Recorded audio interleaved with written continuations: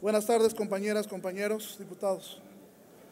El Internet es una herramienta que facilita muchas actividades, desde la comunicación hasta el intercambio de información. Según datos del INEGI, sobre la disponibilidad y uso de las tecnologías de la información y comunicación, el 63% de la población tiene acceso a Internet. Los usuarios de la web ocupan gran parte del tiempo dentro de las redes sociales, las cuales han tenido un aumento en el número de personas registradas, cifra que se incrementa gracias a la utilización de teléfonos móviles. No obstante, también hay una parte oscura dentro del uso del Internet, la cual se presenta cuando se vulneran los derechos fundamentales y la vida íntima de las personas, especialmente en temas de libertad sexual y su dignidad. Los principales usuarios de Internet son los jóvenes, los cuales dedican muchas horas al uso de Internet y redes sociales, compartiendo información de todo tipo e incluso contenido íntimo a personas con las que comparten algún tipo de relación afectiva. No cuestionamos esta práctica, conocida como el sexting, que forma parte de la libertad sexual de las personas, que deciden compartir voluntariamente cualquier tipo de contenido. Sin embargo, hay personas que aprovechan los vínculos afectivos para difundir el contenido recibido sin consentimiento y como una forma de amenaza, coacción o chantaje, vulnerando los derechos y la dignidad de los individuos.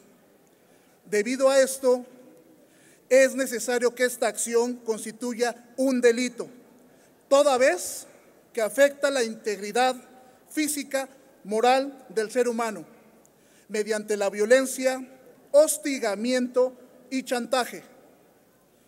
Desafortunadamente, esta práctica sigue en aumento y cada vez más se presentan casos de difusión sin su consentimiento de cualquier tipo de este contenido. La Asociación Civil Alianza por la Seguridad en Internet reporta que de 10.000 estudiantes encuestados, el 36% conoce a alguien que ha enviado o reenviado imágenes de desnudos o semidesnudos mediante el Internet. Generalmente, quienes comparten imágenes o contenido de carácter sexual tienen una relación de confianza o afectiva, por lo que no reciben o no perciben el peligro de que esto esté expuesto a terceros.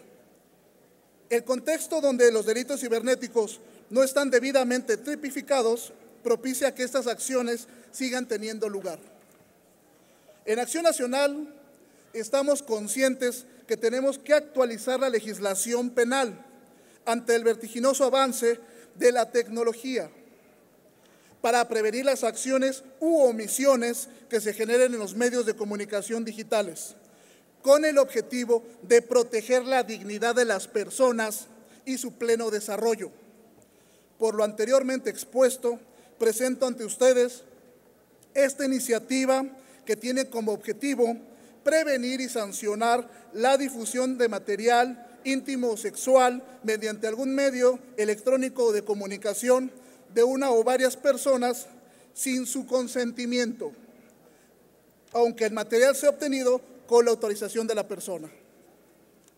Por lo que se impondrá de tres a cinco años de prisión a quien por cualquier medio electrónico o de comunicación difunda, exhiba, publique, divulgue o propague imágenes, textos, videograbaciones, audiograbaciones o cualquier material digital con contenido íntimo sexual al que afecte el derecho a la intimidad de una o varias personas, incluyendo la coacción, hostigamiento o amenaza de difundir dicho contenido, con el objetivo de, proteger la libertad sexual e intimidad de los mexicanos, así como el desarrollo de los jóvenes que se encuentran cada vez más expuestos a estos fenómenos.